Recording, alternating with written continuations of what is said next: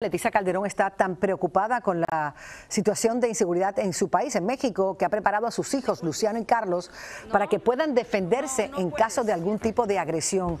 Durante el homenaje al actor Mario Casillas en la Ciudad de México, Leticia Calderón dijo que es difícil como madre discutir el tema de los feminicidios y secuestros, pero ha tenido que hacerlo. Escuchemos. Les he puesto varias clases de defensa personal Carlos sabe hasta matar, sabe algunas, manejar algunas armas.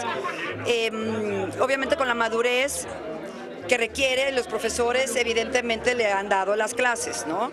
Los he enseñado a defenderse a tal punto que ellos pueden tomar la decisión, si llega un agresor, un adulto, a quererlos tocar sexualmente, a querérselos llevar lejos de mí, ellos saben qué hacer para lastimar y en todo caso, pues sí, pueden matar con la consecuencia y saben las consecuencias.